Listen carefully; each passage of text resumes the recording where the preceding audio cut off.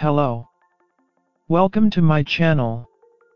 In this tutorial, I'm gonna show you how the screw modifier works.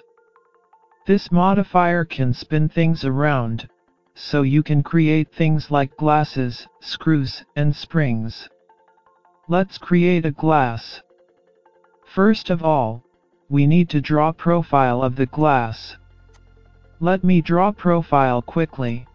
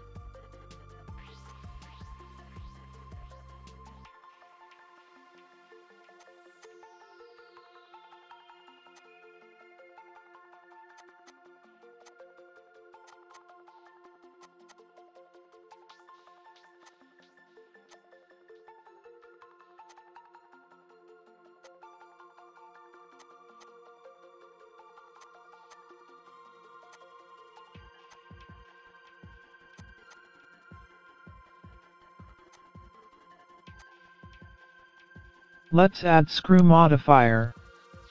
There we go. The screw modifier takes the profile and it extrudes it around the origin point and it gives us this result. Let's add viewport shading. Click on the matcap tab and select one of them. As you have noticed, it has some bad shading, especially around the rim and in the bottom of the glass. To fix this problem, we'll enable calculate order option here. Here we go.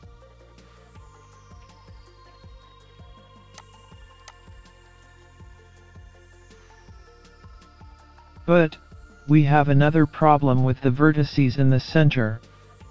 They don't merge at center when we spin the glass profile. To fix this problem, let's enable merge option here. There we go.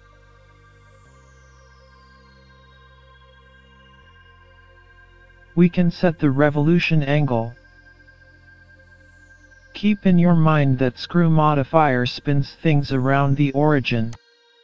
If the center vertices are not aligned with the origin, that will create gap.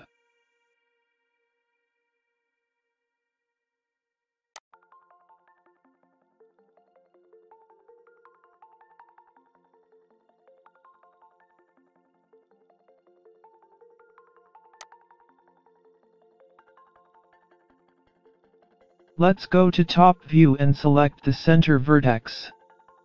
Move it little bit on the x-axis. As you can see, it creates a gap.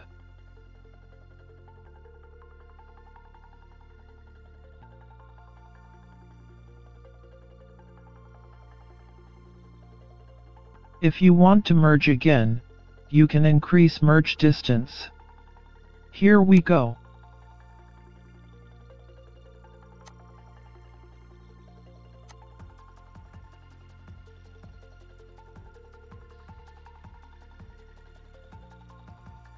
If we want to get high poly mesh, we should increase steps viewport. So it will increase number of steps in the revolution.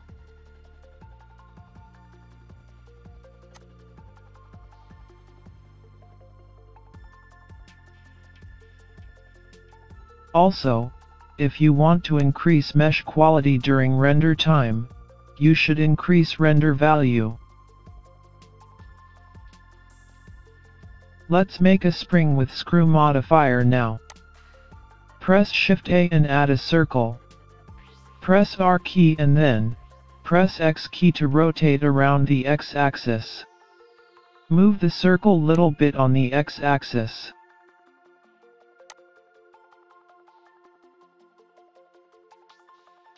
Now, right click and set the origin to 3D cursor.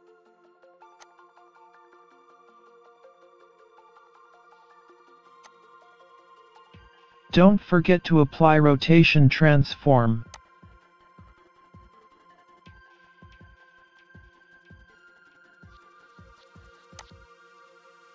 Then, let's add screw modifier and increase the screw amount.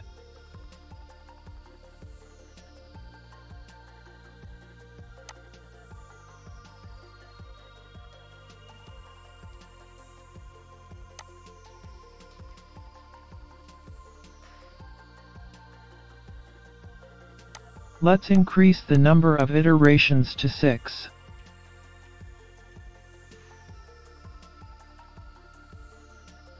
Let's increase the steps number to 32 for its look better. There we go.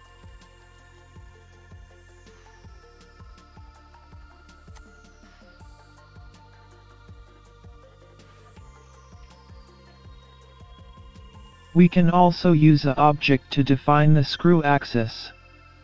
Let's add a empty object.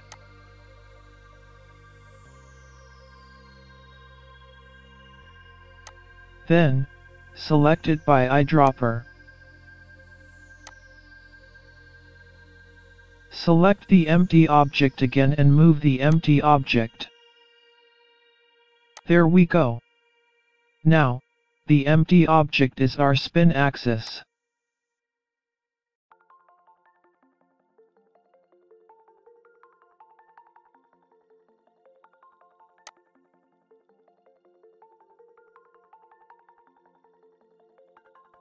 We can also use this empty object to define the height of the screw. To do this, I have to enable the object screw option here. Let's move the empty object up and down. There we go. Now, we have a spring that can be expanded and compressed. So, we can animate this function.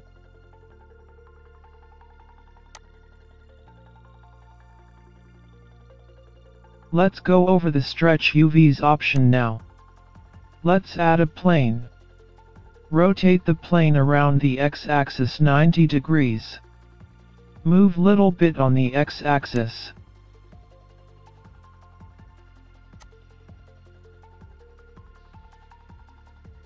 Scale the plane.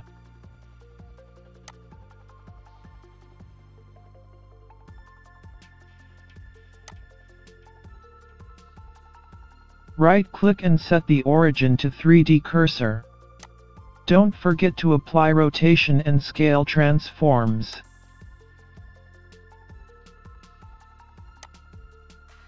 Then, add screw modifier to the plane.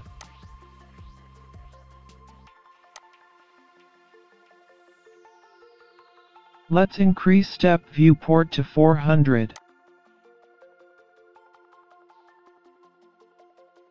Set the angle to 180.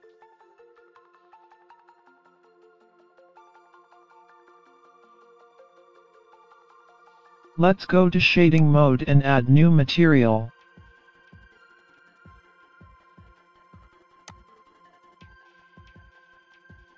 Then, let's add brick texture, mapping and texture coordinate.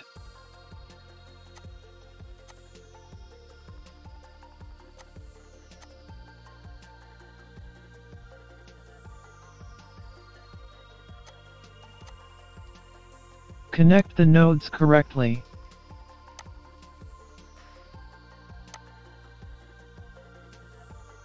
Then, enter 6 into scale X.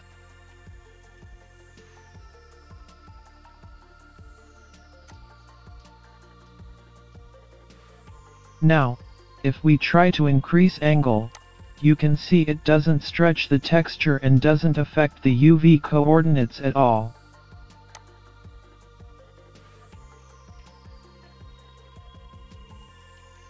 But, if we turn on the stretch U option here, it will stretch the brick texture horizontally.